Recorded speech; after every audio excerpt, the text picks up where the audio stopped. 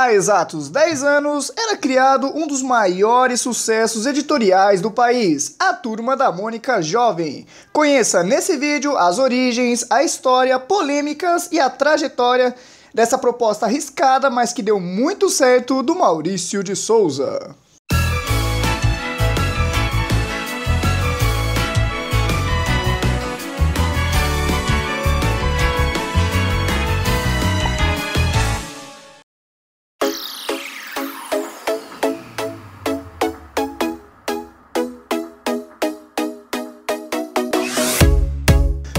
Começa por meados de 2004, quando Maurício de Souza notou que as crianças, ao chegar aos seus 12 ou 13 anos, deixavam de ler a Turma da Mônica.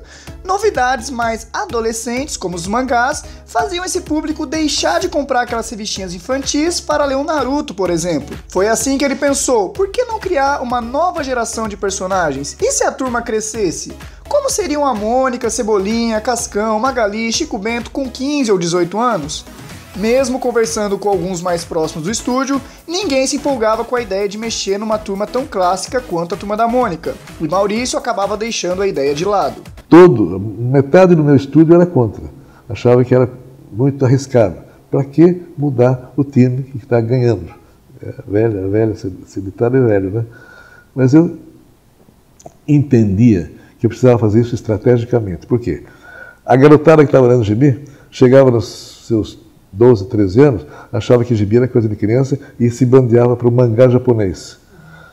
Eu falei, ué, então se eles gostam de história em quadrinho, gostam da minha história, gostam de mangá japonês, eu vou fazer uma mistura disso aí e fazer um novo produto. Demorei 3, 3 4 anos para convencer a minha equipe, o meu pessoal, a minha empresa, que, eu podia, que podíamos fazer isso sem perigo. Mas o Maurício não sabia que Alice, sua esposa, junto com a equipe dela, desenvolveu uma primeira versão da Turma da Mônica jovem, já com estilo semelhante ao atual, sendo que ela conseguiu até o apoio da editora da época, a editora Globo, que publicava os quadrinhos da turma. Só que na reunião da diretoria o projeto não passou e novamente foi deixado de lado. Maurício relata em seu livro que o projeto ficou mais dois anos na gaveta. Nem ele chegou a apoiar a esposa, pois achava que tinha muitas dúvidas sobre aquilo ainda na época. Até que o Maurício trocou de editora e foi para a Panini. Coincidentemente ou não, dois gerentes da antiga editora estavam na nova e eles viram o projeto da Alice na época querendo publicá-los. Até que a gota d'água aconteceu. Maurício relata que no final de cada mês, duas secretárias do seu estúdio preparavam uma sacola com todas as revistas que iriam circular no final do mês. E o Maurício comprava na banca um mangá para o seu filho Marcelo. Pois é, até o Maurício comprava mangá japoneses. Com isso, ele ofereceu o mangá e a sacola cheia de gibis para o seu filho.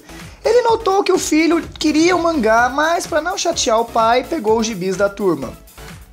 Dessa forma, no dia seguinte, ele decidiu que estava na hora de publicar aquele projeto da Alice. E mais, não era para ser historinhas de adolescentes, mas sim histórias que tivessem universos fantásticos, monstros, assombrações, magias, poderes, dimensões paralelas e por aí vai. Além disso tudo, para competir de vez com os mangás que estavam em alta, a Turma da Mônica Jovem também seria em mangá, fugindo do traço tradicional da Turma da Mônica clássica. Já os personagens teriam mudanças nas suas características, já que seria estranho com 15 anos o Cascão ainda não tomar banho ou Cebolinha falar errado. Essas mudanças torceu o nariz dos mais conservadores em relação à turma, mas o Maurício arriscou a jogada. No entanto, ele teve seus cuidados, já que as características originais não iriam ser perdidas, ou seja, o Cascão toma banho, mas não curte muito, e o Maurício nunca deixou ele aparecer tomando banho para não chocar os leitores. O Cebolinha iria falar errado ainda, mas só quando estivesse nervoso. A Mônica continuaria mandona e levemente deducia, mas agora era uma moça linda, sensual e moderna. E a Magali, para manter seu corpinho, continuaria comilona, mas com mais moderação. O Chico Jovem também estava nos planos, mas ele só foi sair do papel anos depois. Sobre ele vou comentar em outro especial aqui do canal. Alguns meses antes do lançamento oficial, saiu uma edição exclusiva para colecionadores, totalmente gratuita, apresentando a Turma da Mônica Jovem. Ela começa explicando o que é o mangá e na página seguinte a história Eu Cresci, aonde a Mônica conta que não é mais aquela menininha que corria atrás dos garotos com o coelhinho, e explica tudo o que eu citei aqui, que a Magali se preocupa mais com a sua alimentação, que o Cascão toma banho de vez em quando mesmo sem gostar, que o cabelo do Cebolinha cresceu e que ele quer conquistar o mundo e finaliza dizendo que certos valores como amizade, companheirismo e união são coisas que a gente nunca vai mudar. Mais Turma da Mônica do que isso, impossível. Assim, em agosto de 2008, publicado pela editora Panini ao preço promocional de R$ 5,90, era lançado oficialmente o primeiro número da Turma da Mônica Jovem, tendo uma tiragem inicial de 500 mil exemplares, todos vendidos. Nessa primeira edição, temos um resumo dos personagens jovens, da mudança que a Turma Clássica teria e o início da primeira história e a primeira saga da Turma da Mônica Jovem, Quatro Dimensões Mágicas já apresentando os personagens. Com a Mônica tendo nostalgia pelo seu velho vestido vermelho e o seu coelho de pelúcia, o Cascão, quem diria, demorando no banheiro, o Cebola feliz por ter mais de cinco fios e bravo com a sua irmã ficar chamando de Cebolinha, e a Magali tendo suas recaídas por comida. Depois já somos apresentados a Marina, e na segunda parte da história a trama começa a ficar mais séria e somos apresentados a vários personagens, como Franja, que trabalha no museu, o Louco, que é professor de história, o Cellboy, o Anjinho, e o Capitão Feio, que além do visual bem diferente do vilão clássico, agora é chamado de Poeira Negra. Não se sabe o motivo da mudança de nome, mas isso gerou muita piadinha com o pessoal errando o nome dele o tempo todo.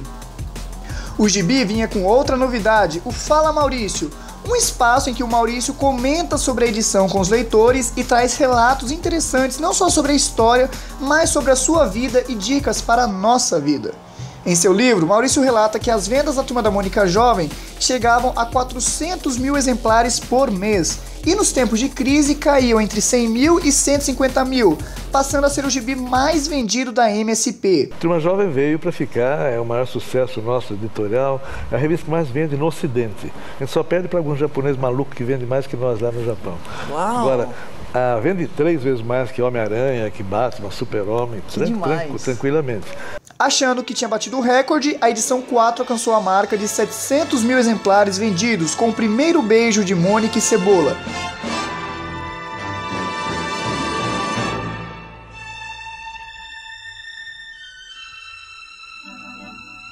Além de trazer a maioria dos personagens do Maurício nos mangás, como a turma do Penadinho, da Mata e boa parte da turma da Mônica. Essa saga trouxe tudo o que o Maurício queria para a turma: ação, aventuras, suspenses, dimensões paralelas e uma boa pitada de bom humor. Ela foi roteirizada pelo Flávio Teixeira de Jesus, junto com o próprio Maurício.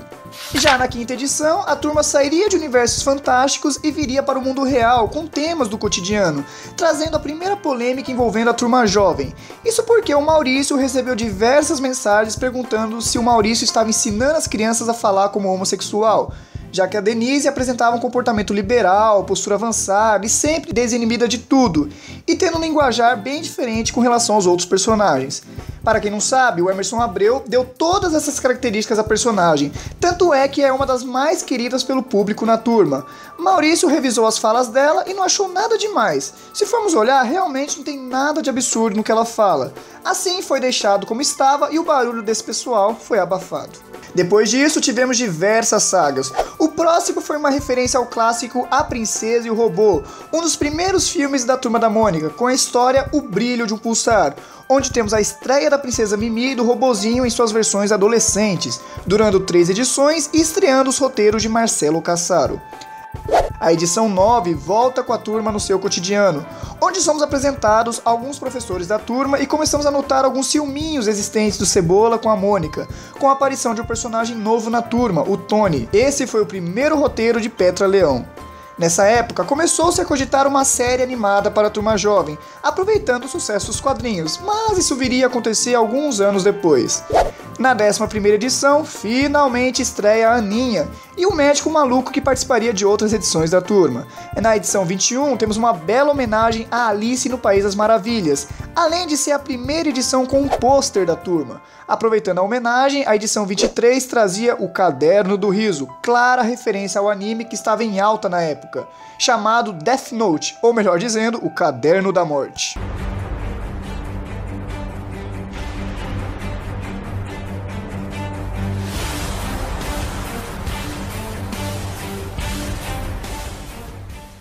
Na edição 25, em homenagem aos dois anos da Turma Jovem, é estreado o site oficial da Turma da Mônica Jovem, revista turmadamônicajovem.com.br, e foi desativado recentemente. Se vocês digitarem o site, vocês vão cair diretamente do portal da Panini.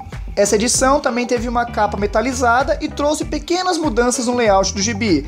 Agora havia propagandas dentro dele e na última página alteraram a Mônica Brava, dizendo para você não começar o gibi por aquele lado, porque esse mangá era brasileiro e não japonês, por uma Mônica imitando a Abby dizendo nananina não, com uma cartinha dela dizendo que não é para ler do lado errado.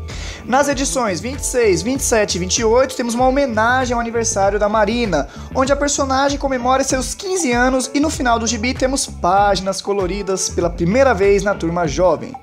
Já a edição 34 bateu outro recorde, com mais de 500 mil exemplares vendidos. Finalmente nós vimos o namoro de Mônica e Cebola.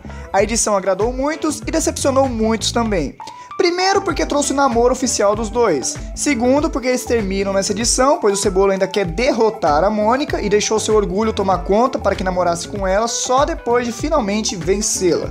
Claro que, como Maurício deixou claro no Fala Maurício, os dois não poderiam ficar juntos se não seria o fim da turma jovem, até porque não teria muito enredo para explorar. E o Maurício dá exemplo de casais que deram certo e sumiram dos quadrinhos. Sendo assim, foi estratégia da MSP terminar o namoro dos dois e trazer uma trama nova à turma jovem, e caixando do Contra na jogada, já que ele começava a demonstrar sentimentos pela Mônica, o que gerou uma legião de fãs docônicos que chipavam do Contra com a Mônica e os cebônicos que queriam cebola com a Mônica. Na edição 43, um grande sonho do Maurício é realizado. Seus personagens contracenam uma história com os personagens de Osamu Tezuka, um dos grandes ídolos do Maurício, o primeiro crossover da Turma da Mônica com outro personagem de mangá, o Astro Boy. Na edição 49, curiosamente, o novo Capitão Feio volta a ser o velho Capitão Feio sem explicação alguma. Na verdade, o Cascão diz que isso acontece muito nos gibis. Assim, em 2012, a Turma Jovem bateria mais um recorde de vendas com a edição 50, trazendo o casamento de Mônica e Cebola. Inclusive, tem um vídeo detalhando essa edição aqui no canal. O gibi vendeu mais de 500 mil exemplares e é uma relíquia hoje em dia, trazendo uma história da vida de Mônica e Cebola casados. Algo que todo fã da turma queria saber. Essa história não agradou muito os docônicos, mas não podemos negar que teve uma trama fantástica e tirou a curiosidade de todo mundo que já leu a Turma da Mônica. Alguns de vocês já devem ter visto que está nas bancas a edição 50 com o casamento da Mônica e o Cebola. É Alguém já viu? Alguém já viu? Se não viram, corram que está esgotando. Eu mandei fazer 500 mil revistas, não está dando para o gasto. A edição seguinte também tem um marco na história da Turma Jovem. Ela traz a primeira edição da Super Saga do Fim do Mundo. E a volta do roteirista Emerson Abreu nos roteiros da Turma Jovem, já que quem estava fazendo os roteiros até então era a Petra, o Flávio e o Caçaro. O Emerson trouxe toda uma nova trama para a turma jovem, envolvendo muito, mas muito suspense e trazendo aos holofotes personagens que ele criou, como a Agnes, Penha, Sofia, Madame Creusodete e a Jumenta Voadora. Além de trazer diversos elementos que ele gosta, como a dupla sertaneja, Zé Neto e Cristiano. Mais detalhes vocês encontram no vídeo dele aqui no canal mas isso era só a ponta do que viria depois. Vou citar mais à frente, só que os detalhes sobre a trama ainda vou trazer para o canal, porque é muita coisa envolvida. Foi nessa época que tivemos a primeira aparição dos personagens em animação, sendo lançado no YouTube um vídeo institucional chamado Diga Sim à Vida, uma iniciativa do Ministério da Justiça no combate às drogas. A gente precisa fazer alguma coisa. É, mas o quê? Tenho uma ideia. Fala aí, mo. Que tal a gente falar com o professor Renato? Boa turma, a diretora precisa saber disso. Em 2014, a Ambev lançou a campanha Papo em Família, trazendo a turma da Tina e a turma da Mônica Jovem falando sobre alguns assuntos. No caso da turma jovem, tivemos o conveniência e opinião. Um refri, um suco. Eu quero. Valeu, tio. Tchau, Tonhão, vacilão. Essas crianças cresceram, mas bebidas só para maiores de 18 anos. Faça sua parte. Ainda assim, o lançamento e desenho oficial só teria poucas divulgações na Cartoon Network, mas nada concreto, algo que ocorreria só algum tempo depois.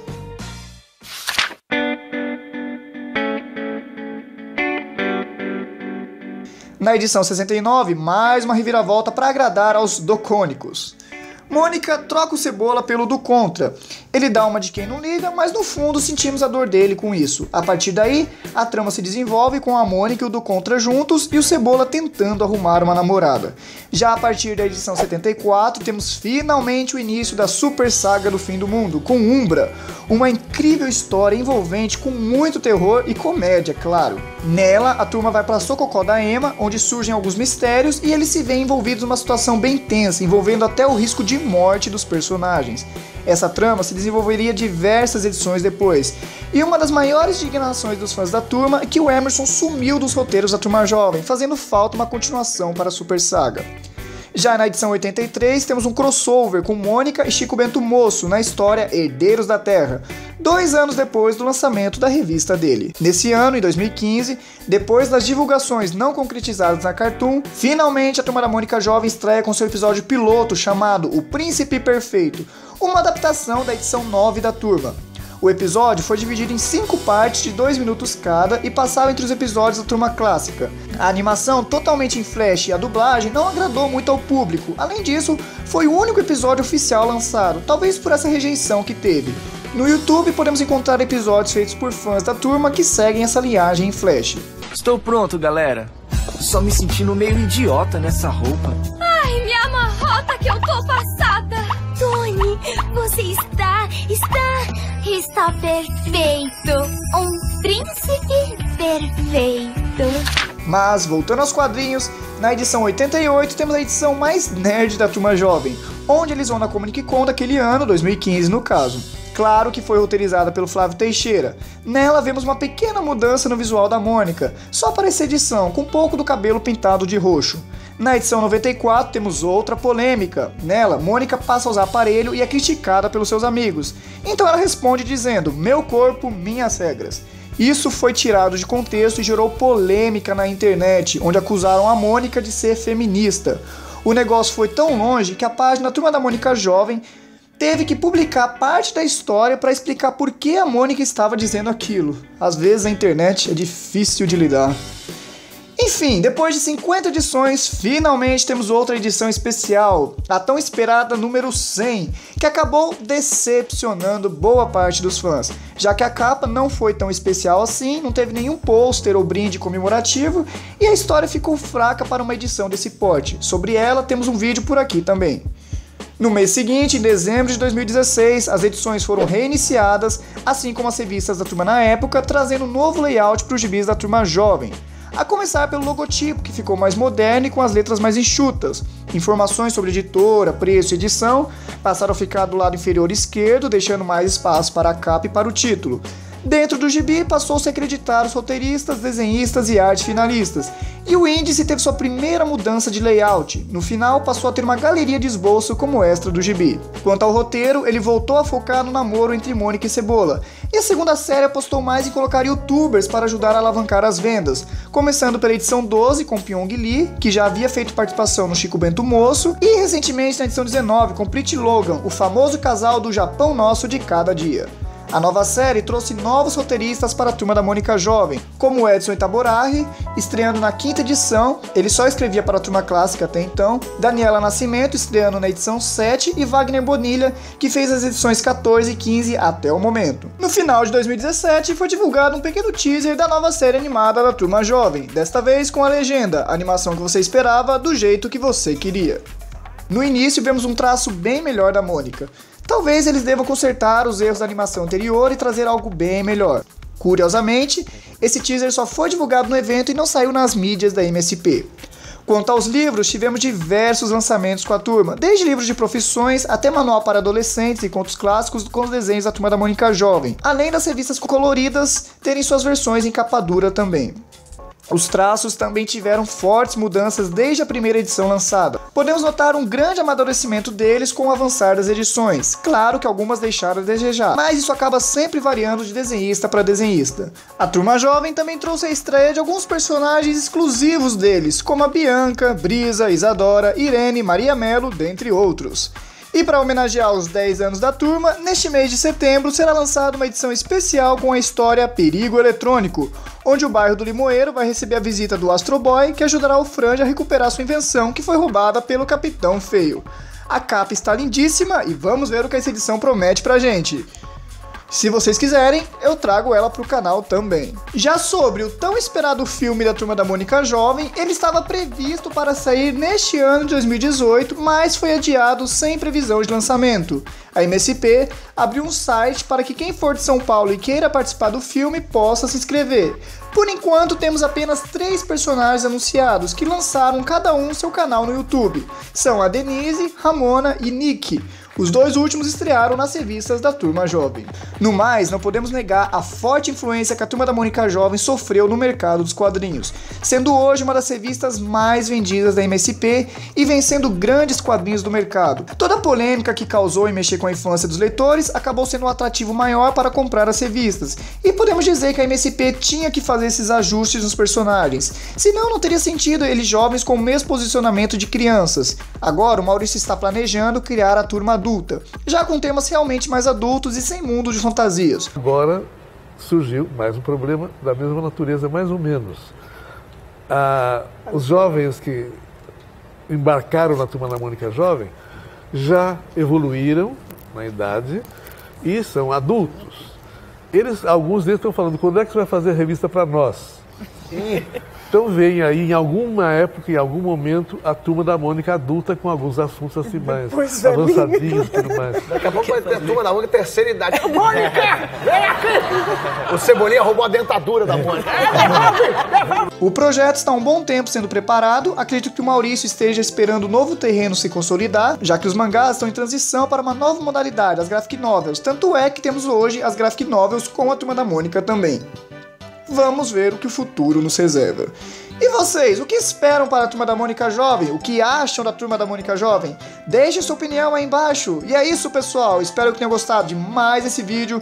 Deixe seu gostei aí embaixo pelo trabalho que deu de produzir e editar tudo isso. Se faltou algo, comenta aí embaixo. E se você é novo no canal, se inscreva e fique por dentro de tudo sobre a Turma da Mônica.